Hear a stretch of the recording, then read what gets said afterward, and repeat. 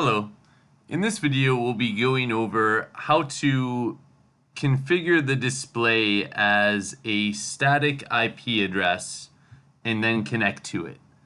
So by default when you first receive a display from our factory, if you make no changes, the uh, the default setting is that the display will get an IP address through a DHCP connection. So I will talk more about a DHCP connection in the video that talks about how to connect to a display with a DHCP address. Um, but for this video, we'll talk about switching the display so it will not acquire it through a DHCP server, but instead it will always be the same IP address. So that is called a, a static IP address. Um, so what we will be doing is we will be making the IP address um, static and then connecting to it through PuTTY. So as you can see here, we're going to start on the support site and we're going to use some tools that we have made available in our knowledge base to help us do this quickly. So from our support site, we're going to go down to the knowledge base here and come into operating systems down at the bottom and look at this article about IP address configuration. So this article goes over how to change the IP address and if you can already log into the display uh, with the DHCP address, you can follow the instructions to do this manually. Um, for this video, we're gonna make this a little easier though and use this script here. So this is the auto set IP address configuration. We're gonna just go ahead and download this. Uh, should finish very quickly. So here it is, and we're gonna extract this ccauto.sh here.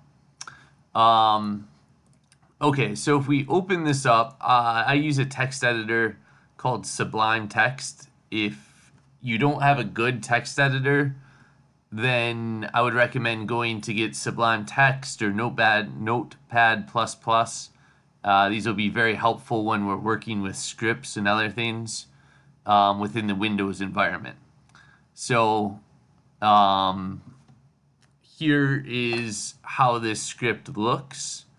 Uh, just to note, if you try to open it with like Notepad or WordPad, it will not look correct. Um, so again, it will, you, I believe if you use WordPad actually, it will insert Windows end of line characters, which will actively mess up the script. So again, if uh, you don't have a text editor like Notepad++ or Sublime Text, uh, there are many free options out there uh, go download one of them. Um, okay, so there's instructions in this script on what we need to do. So if you want to set it as a dynamic IP address, um, we can change this to be a zero. Um, so here, or zero for dynamic IP. But in our case, we want to set it to be static. So we're going to leave this as a one here. And then down here, this is the information of our static IP. So in this case, we're going to say the IP address of the display will be 192.168.0.100. Our net mask is this, and our gateway is this. So I would recommend just, unless you know what you're doing as far as changing the, the network stats here, I would recommend you just keep them as they are set. So you don't need to change anything um, or even open this file. So, and I'll go through this and show you how to set up your computer to connect to this specific address. Because um, the setup will be different if you change change those settings there. So we're now going to go ahead and copy this ccauto.sh file to the root directory of a USB. So I'm going to go ahead, copy it. I already have one in this USB, so it's just asking me if I want to replace it. I do. Um, okay, so it's you'll notice it's in my root directory. When I go to the USB, I'm not putting it in any other folders or um, anything else. It is just sitting in the main, the first directory I go to on the USB. This is important because if it's not in here, the display won't look for it in any other folders. The display will look for a file called ccauto.sh. If it sees it, it executes the script. If it doesn't see it, uh, it won't do anything. So once it's there, we're going to just eject the USB. And now we can put it in the display. So in this video assumes that your display has a USB connection to it. Um, so you guys can't see my display, but I'm putting it in. What we're going to do is it will run and reboot the display. So once you insert the USB, you should have to wait approximately one to two seconds and your display should reboot.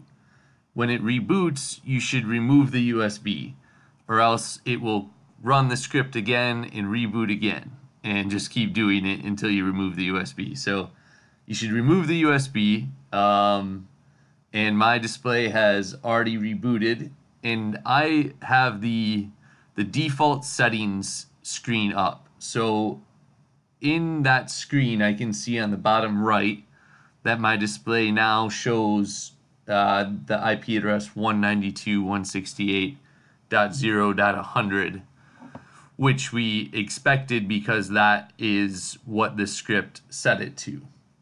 Um, so I can see that it's correctly set as a static IP. And I have the Ethernet connection hooked directly to my computer so the display Ethernet connection is hooked directly to my computer. Um, and now we are going to go into our uh, network configurators and make sure that our settings are correct. So I believe mine are already correct, but I'll show you my settings and that should um, give you an idea what you need to do. So here, you know, I went into control panel um, you can arrange it by category and then uh, network and internet. And we're going to go into uh, view network. Yes, yeah. And then we're going to, from this, we're going to say change adapter settings. And assuming the display is connected to an Ethernet, directly connected to your computer via Ethernet, we're going to look at what connection you have it. So for me, I have it connected to this local area connection and I'm going to hit properties.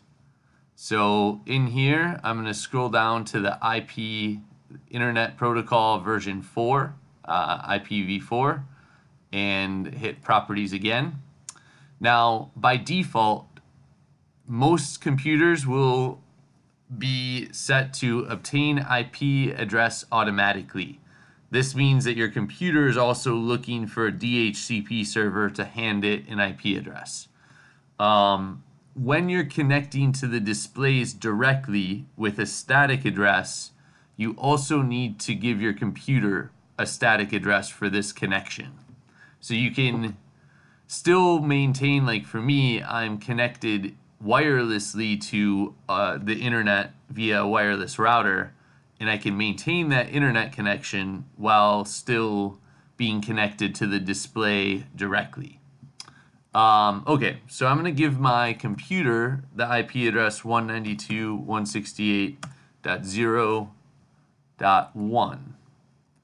Okay, and when you click down here, it automatically assigns a subnet address uh, essentially based on the class of your IP address. Um, you know, without getting too technical, you can pretty much keep it at this subnet address, assuming that you didn't change the the settings in the script. itself.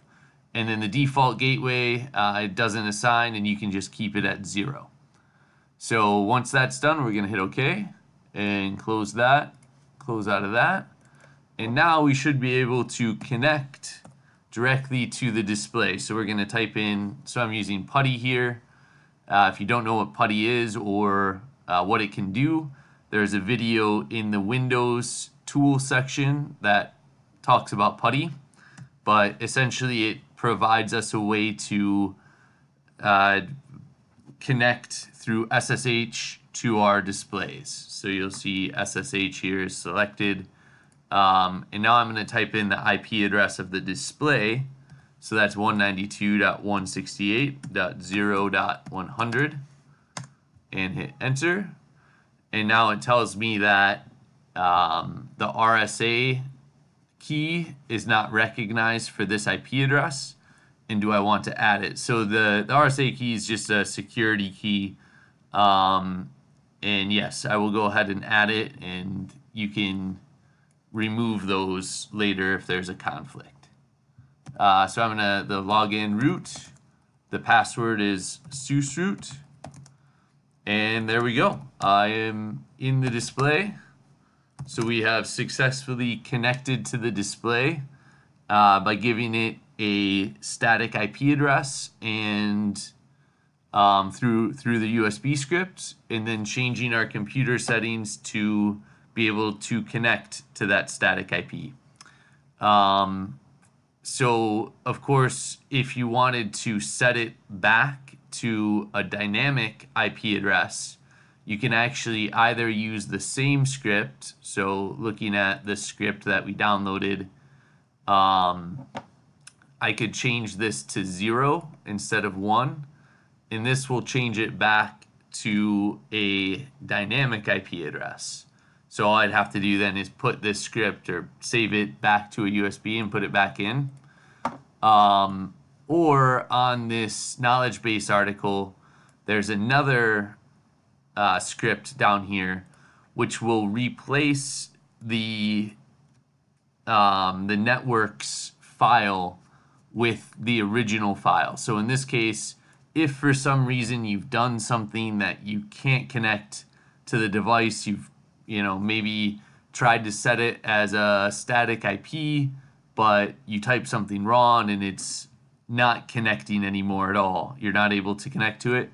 Um, you can use this IP address script to essentially attempt to replace the entire file to the uh, to the original settings, which will be a DHCP type address. So, or type configuration. Um, okay, so I think that should do it. Um, there'll be a video on how to do this manually, but for this one, we've done it through USB. Thanks for watching.